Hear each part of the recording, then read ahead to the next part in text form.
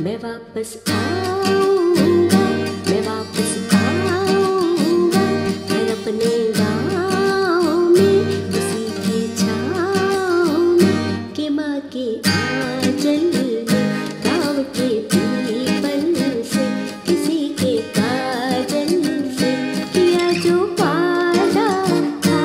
होने पाऊँगा मैं एक दिन आ